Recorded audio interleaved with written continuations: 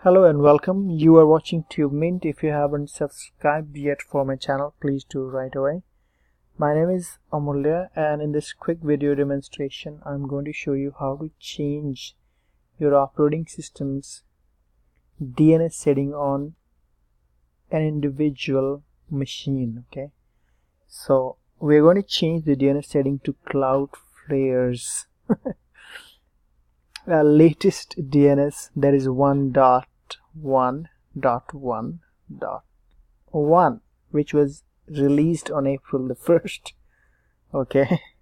That's that's the number. Okay uh, four ones. We're going to change the DNS setting on Microsoft Windows 10 operating system.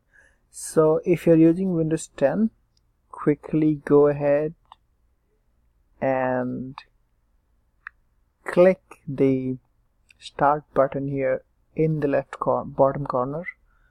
It may be anywhere depending on the settings you have edited on your operating system.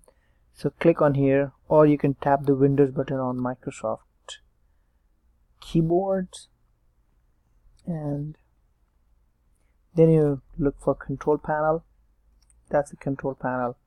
And then you click here the second one if you don't see like this if you see a lot of that means you need to change the view by to category okay? If it's like this large icon small icon change it to categories okay? Now you click on here network and internet then you click network and sharing center and this is basically okay the basic information and setup connection. Now here you click on change adapter settings. A new window should pop up and uh, this is network connections window where you will see all the internet connections on your device. Okay. So right click on the network connection that you want to edit and then scroll down to the properties and click properties. So Wi-Fi property window will appear here. Now I'm using IPv4 so I'll double click on it. If you're using IPv6 please make sure you check with your internet service provider how to change DNS service on IPv6 okay now let's go ahead and most of in most cases it's IPv4 for for you people. For everybody. So the default DNS setting is going to be this one. Which is like automatically detected and obtained.